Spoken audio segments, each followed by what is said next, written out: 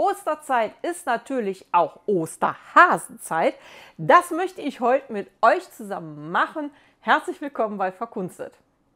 Ja, also, wenn ihr noch keine Ideen habt, wie ihr ein Osternest befüllen wollt, dann habe ich hier vielleicht eine echt süße Idee. Und zwar, wir basteln zusammen aus Kaffeefiltern, ihr habt es richtig gehört, Osterhäschen. Wie das funktioniert, zeige ich euch gerne in diesem Video. Also ran mit einer gemütlichen Tasse Tee oder Kaffee und los geht's. Als erstes brauchen wir Kaffeefilter. Ich denke mal, entweder habt ihr eine Kaffeemaschine zu Hause ganz normal, wo ihr mit Kaffeepulver arbeitet. Dann habt ihr mit Sicherheit auch hier solche Kaffeefilter. Oder aber sie gibt es preiswert überall im Supermarkt zu kaufen unter einem Euro. Ich finde, diese Investition lohnt sich auf jeden Fall, weil das macht echt süchtig. Wie wollen wir denn unseren Osterhasen jetzt hier aus diesen Kaffeefiltern herstellen? Eigentlich relativ einfach, wenn man mal so auf Pinterest schaut, gibt es sehr schöne Anleitungen dazu, wie man sogenannte Wabenbälle herstellt. Die sind eine wunderschöne Dekoration, vor allem gerade aus diesem Papier hier. Ich mag also diesen Naturton und wir brauchen Kaffeefilter, einmal jeweils acht Stück damit wir zwei Wabenbälle machen, nicht in gleicher Größe, sondern einmal in groß, das wird dann der Körper sein, und einmal in klein für den Kopf. Was ist jetzt der erste Schritt? Wir legen mal los und machen uns eine Schablone. Es sei denn, ihr habt einen Zirkel und ihr könnt es so mit einem Zirkel sehr gut machen. Das ist natürlich auch kein Problem. Also, wir brauchen einmal eine Vorlage und ich habe mich hier einmal, ihr seht schon, für einen Becher entschieden, weil hier dieser Umfang, Durchmesser passt sehr schön, um daraus einen guten großen Korpus zu gestalten. Und ich habe einmal hier mich für eine Kaffeetasse entschieden für den Kopf. Dann würde ich euch empfehlen, nehmt ein bisschen stärkeres Papier, damit ihr nachher eine wirklich gute Vorlage habt. Ich bin dann hingegangen, habe einmal also einmal jeweils die Form aufgemalt mit hier den jeweiligen Bechern und Tasse, habe das dann ausgeschnitten, einmal in der Hälfte gefaltet, ihr seht es schon hier, und dann können wir auch schon mit den Kaffeefiltern loslegen. Ihr nehmt die Kaffeefilter, das ist jetzt erstmal einfach Fleiß, Fleißarbeit und legt im Prinzip jeweils hier, ich zeige es einmal auch direkt, ihr nehmt hier den Kaffeefilter und faltet jeweils einmal, dass die beiden Seiten aufeinander liegen, das Ganze zusammen. Ihr seht es schon, damit hat man im Prinzip einmal den Kaffeefilter genau in der Mitte gehälftet. Dann geht ihr hin, nehmt eure Vorlagen, die wir ja schon vorher schön ausgeschnitten haben, und legt sie einmal hier unten an die gefaltete Kante auf, dass das schön bündig ist und einmal dann mit einem Bleistift rumherum malen, dass ihr hier einmal das Muster drauf liegen habt. Das macht ihr achtmal mit dem großen Körper, also mit, dem Groß, mit der großen Vorlage und achtmal bitte mit der kleinen. Wenn ihr das gemacht habt, dann ausschneiden einmal das Ganze, also sich das hier nehmen und ganz normal hier drumherum das Ganze ausschneiden. Seht, ich mache es jetzt auch einmal mit euch zusammen, dass ihr das seht. Das ist halt einfach nur die Fleißarbeit, weil das müsst ihr jetzt natürlich für alle machen sodass ihr nachher acht große Stücke hier liegen habt und acht kleine Stücke. Damit wir jetzt uns den Wabenbällen nähern, müssen wir noch jetzt etwas einzeichnen. Ihr könnt es auch mit dem Auge machen, wenn ihr das Gefühl habt, das geht auch so. Ich mache es so einfach jetzt für euch, damit ihr seht, dass das ein bisschen einfacher nachher wird. Ich gehe hin und messe mir jeweils 1,5 cm hier von dem Rand des jeweiligen Halbkreises ab, mache hier einen Strich. Auf der anderen Seite genau das gleiche, 1,5 cm. Das müssen nicht genau 1,5 cm sein, weil was habe ich damit vor? Da werden wir nachher den Klebestreifen setzen, denn wir müssen das Ganze ja irgendwie zusammenkleben. Also, bevor wir jetzt hier mit der Kleberei anfangen, nehmen wir jeweils hier diese Sachen einmal auseinander, so dass ihr aus acht Stücken nachher 16 große Stücke habt und bei den kleinen natürlich dann entsprechend 16 kleine. Jetzt gehen wir ans Kleben. Jetzt wird es spannend. Wir nehmen uns einmal hier einen Kreis, also ein ausgeschnittenes Stück. Ist egal, womit ihr jetzt anfangt, ob mit klein oder groß. Ich habe mir jetzt mal hier das große genommen.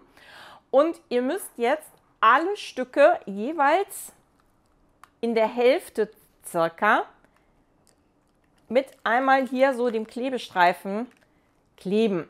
Also, wenn ihr nicht so etwas habt, ihr könnt natürlich auch einen Prittstift nehmen oder einen ganz normalen Kleber. Es geht nur darum, dass ihr hier ungefähr in der Mitte einmal klebt. Dann geht ihr hin, legt das Ganze aufeinander und das ist nachher auch dann die Form der Wabenkugel. Könnt ihr das so sehen? Schaut mal, hier in der Hälfte habe ich jetzt geklebt. Das hält gut und damit passt das super. Das macht ihr jetzt mit allen Stücken, also 16 Mal mit den großen, 16 Mal mit den kleinen. Wenn wir jetzt diese Fleißarbeit erledigt haben, geht es weiter. Wir müssen das Ganze jetzt irgendwie zusammenbringen. Also, wir wollen einmal einen großen Ball jetzt zusammenkleben und danach den kleinen Ball oder umgekehrt. Und jetzt kommen diese zwei Striche jeweils zum Einsatz. Und zwar geht ihr hin und nehmt wieder euren Kleber in die Hand, weil ihr habt ja jetzt die Markierung, klebt einmal hier und einmal hier und setzt dann hier einmal das nächste Stück oben drauf. Achtet darauf, dass ihr hier die Kanten wirklich einigermaßen sauber aufeinander setzt, dass das nicht kreuz und quer auseinanderläuft, damit ihr nachher die, den Ball auch schön auseinander und zusammenkleben könnt. Das macht ihr jetzt mit allen großen Stücken und allen kleinen Stücken. Dann habt ihr nämlich nachher wunderbar einen Stapel zusammengeklebt. Wenn ihr diesen Stapel dann fertig habt, geht es natürlich darum, die Enden jeweils zusammenzubringen. Das ist eigentlich gar nicht schwer. Ihr geht dann halt auch hin, jeweils einmal hier kleben, einmal da kleben und dann bringt ihr das jeweilige Endstück, also von dem, was ihr da habt, von eurem Päckchen, zu einer Kugel zusammen, einmal kurz festhalten, damit es nicht auseinanderflitscht, weil da ist ja schon so ein bisschen Spannung drauf. Und dann habt ihr eigentlich diese super schöne erste Wabenkugel fertig. Das macht ihr dann natürlich mit der zweiten Kugel genauso und damit ist im Prinzip dann schon fast der Körper des Häschen fertig. Wir kleben jetzt also beide Kugeln zusammen, einmal den Korpus unten, die große Kugel, einmal die kleinere Kugel als Kopf oben drauf. Für das Stummelschwänzchen habe ich mich hier für ein Pompon in Weiß entschieden. Da sind natürlich eurer Fantasie alles freigegeben, was ihr da habt. Ob ihr sagt, ihr nehmt eine Holzkugel, fände ich zum Beispiel auch super schön. Oder aber ihr habt vielleicht auch so aus Wolle so ein Pompon. Sieht mit Sicherheit auch sehr süß aus. Oder aber ihr wollt vielleicht gar nicht sowas haben, macht vielleicht noch aus Papier etwas, geht natürlich auch. Wenn wir jetzt noch sagen, wir brauchen Öhrchen, könnt ihr auch hier schauen, was habt ihr noch zu Hause. Ich habe jetzt zum Beispiel hier noch so ganz schönes aus Naturton Wellpapier gehabt. Das wollte ich auch nicht wegwerfen. Daraus schneide ich mir einfach hier passende Öhrchen aus und klebe sie in die Wabenbälle, in diese Wabenbälle hinein, also einmal in den Kopf hinein. Ein Muster gibt es da jetzt nicht, das habe ich jetzt freihändig gemacht und das schafft ihr genauso gut. Ich denke, da braucht ihr keine Vorlage von mir von. Wenn dann die Öhrchen geklebt sind, dann könnt ihr noch überlegen, ob ihr Augen haben wollt. Ich habe mich jetzt hier bei meinen Häschen dafür entschieden, ihnen keine Augen zu geben. Aber da sind ja die Geschmäcker sehr unterschiedlich. Jeder so, wie er mag. Augen könnt ihr natürlich auch wieder aus der Pappe vielleicht bauen. Oder aber ihr habt noch so Wackelaugen zu Hause. Die könnt ihr natürlich dann auch gerne verwenden. Um den Hasen jetzt ein bisschen zu stabilisieren, nehmen wir also auch nochmal die Pappe und machen entsprechende Füße. Auch hier bin ich hingegangen, habe freihand etwas gemalt und einfach unten drunter geklebt. Ihr könnt natürlich auch hingehen und vielleicht einen Kreis nochmal ausschneiden und das Häschen auf einen Kreis setzen. Dann ist es etwas einfacher. Ja, fertig ist eigentlich schon dann der erste Hase.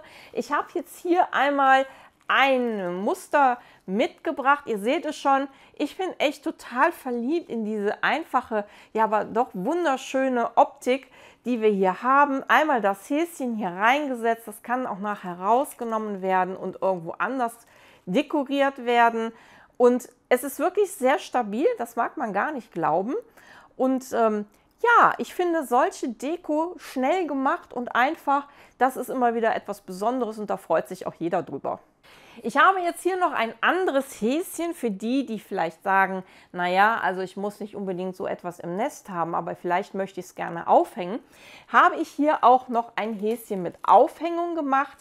Da geht ihr einfach hin, wenn ihr hier das Ganze aufeinander geklebt habt, hier, dann nehmt ihr die Heißklebepistole, macht richtig viel Heißklebe hier drauf und bringt dann einmal euer Garn, euer, euer, ähm, euren Faden an was, was ihr es aufhängen wollt und klebt das einmal hier drauf, sodass quasi die Schlaufe oben draußen ist und die beiden Stücke hier drin.